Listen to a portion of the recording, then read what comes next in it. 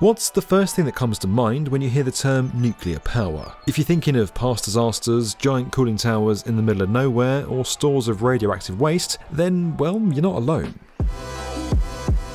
Despite its carbon free credentials, nuclear power has an unhappy reputation.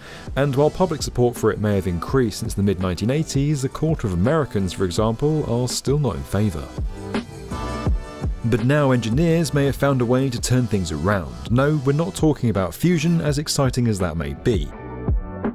Instead, we might be looking at the next iteration of more traditional nuclear, making those big, ugly power stations smaller, in some cases, quite a bit smaller. These new designs will be cheaper, safer, quicker, and easier to build than their predecessors, meaning they can be deployed anywhere, from large cities to remote locations. And even though there's been some skepticism, the first projects are already in the works. So, does the future of nuclear power mean a reactor in every town, or is this whole concept destined for a meltdown?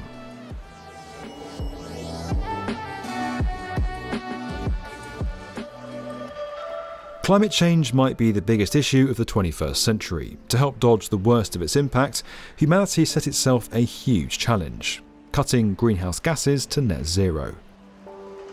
Renewables are the main strategy, but wind, solar, and hydro won't be enough on their own. We need something else in reserve. According to the International Energy Agency, to get where we need to be, we're going to have to invest more in nuclear power.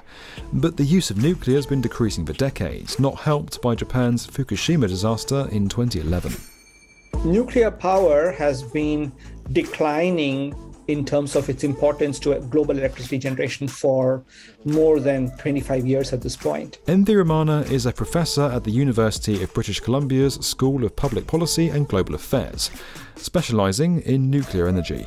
The maximum contribution of nuclear power to global electricity was in 1995, it was 17.5%, and it has declined to about 10%. Nuclear power plants can take decades to build, cost billions, and are hugely complex. Finding the right location can be difficult, and there are often setbacks during planning and construction. Two new nuclear reactors under construction in Georgia will cost far more than expected.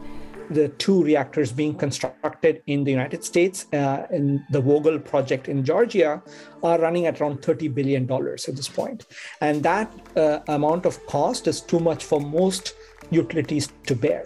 But what if they didn't have to be so big and complicated? What if we could do nuclear without all the hassle? Well, soon we might be able to do just that. Several companies are working on small modular reactors, or SMRs, which promise to make nuclear power much simpler and easier. Instead of giant reactors that deliver a gigawatt of power but need years of construction, SMRs are mass produced in factories.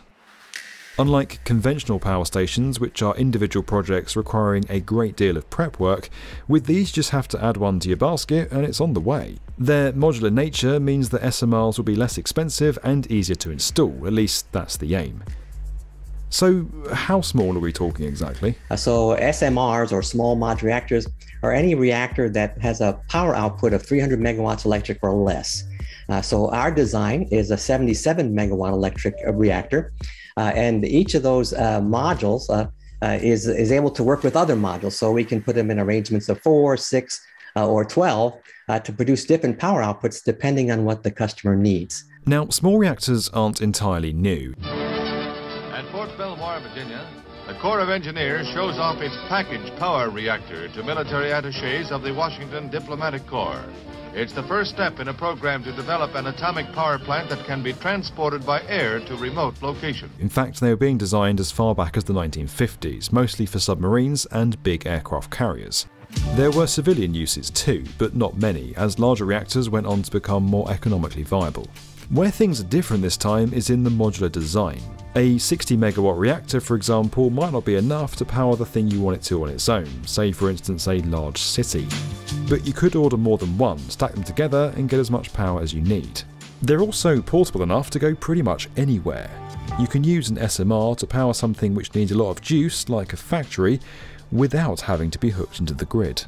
We're the first uh, commercial nuclear power plant uh, that's been approved by the Nuclear Regulatory Commission to not require uh, independent connections to the grid. And that's huge because that allows us to work closely with industry. Uh, for example, hydrogen production, uh, one of our modules uh, working with high temperature steam electrolysis can produce about 50 tons of hydrogen per day. Sounds great, but we know what you're thinking. If we're going to have nuclear reactors everywhere, how do I know there won't be a mini Chernobyl in my hometown? Before you go digging a bunker in your backyard, these units are designed to be far safer than their predecessors. Because the cores of SMRs are much smaller, they generate less heat and there are far fewer moving parts to worry about. They've got clever safety features too.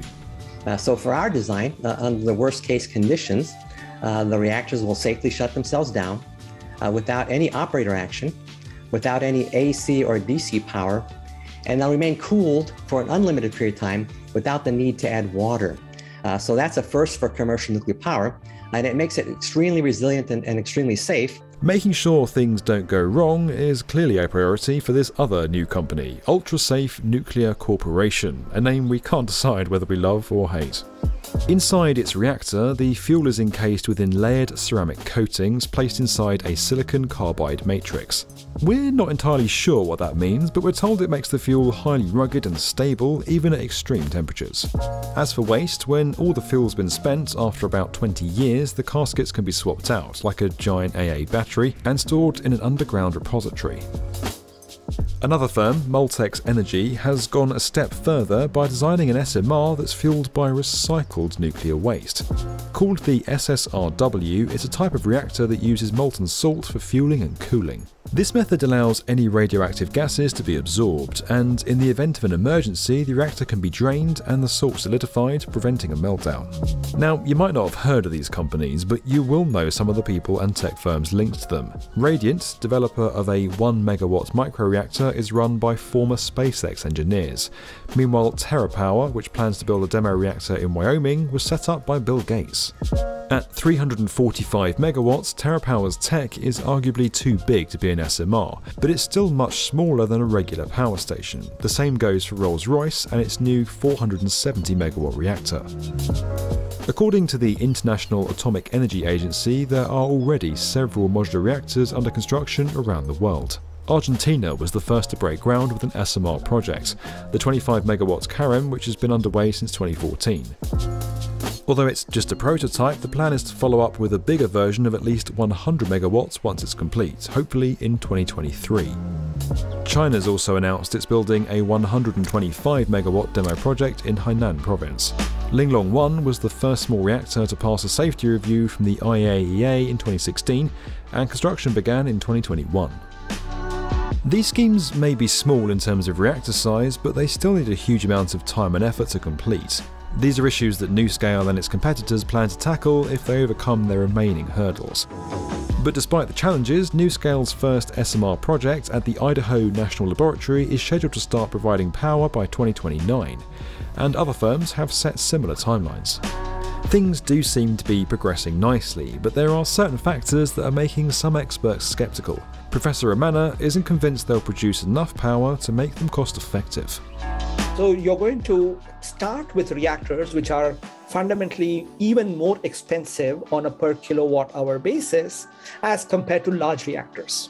And large reactors themselves are much more expensive than the other, even low carbon alternatives, including solar and wind power at this point. He also believes that getting full regulatory approvals isn't going to be easy because if you're going to be building them and you're going to be building them all over the place including near towns and, and uh, in remote places and so on you want to be absolutely sure that you're trying to make it as safe as possible. Any good nuclear uh, safety regulator will ask a lot of difficult questions right? What happens if there's a fire? What happens if the operator makes this kind of a mistake?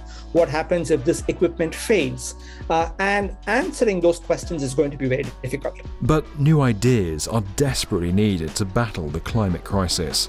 And whether or not SMR technology ends up making a difference you can see why it's starting to generate so much excitement.